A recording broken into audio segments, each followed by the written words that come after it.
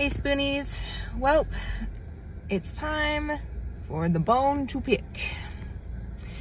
Um, I'm running an errand with my adoptive dad and um, I'm sitting out waiting for him. So, um, bone to pick and then we'll get on to everything else. Bone to pick.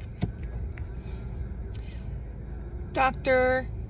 Isbor or Istabor I've been seeing like a lot of comments on my videos about this person and I have done some research on YouTube and I see the only thing I find on this thing and this person is shorts.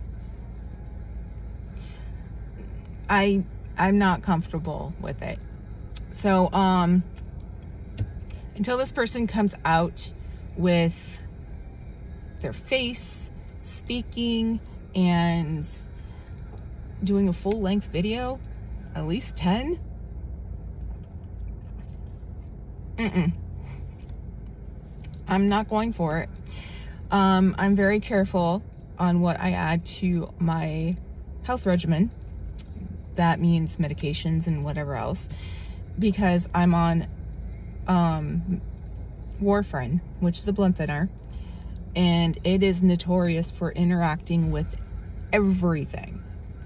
Um, I can't have too many green veggies because vitamin K. And vitamin K is the antidote to warfarin.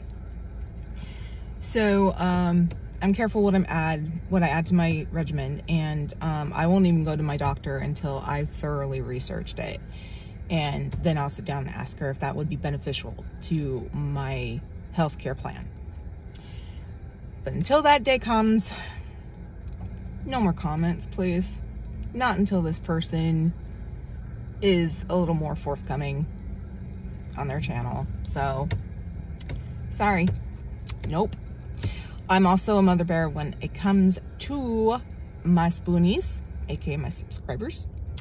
Um, I don't want some BS being thrown in their face, which is why I've turned down a couple of people who've approached me that wanted me to run their ads um, that wanted me to run their ads and um, check out the products and stuff like that. So I, I flat out said if it's not going to be beneficial to my subscribers or to myself or something that I've tested myself, I'm I'm not bringing it to my channel. So yeah, there's my bone to pick. I'm also trying out a hair piece. Well, this is several to make it look a little more passable and um, yeah, but I'll talk about it more tomorrow. My uh, adopted dad's here, and tomorrow's Friday, so electrolysis day. I will catch y'all later. Um, I hope you have a flare-free day, and if you do not, I hope that it is short-lived and you find some relief soon. And I will catch you tomorrow. Mwah. Love you, spoonies.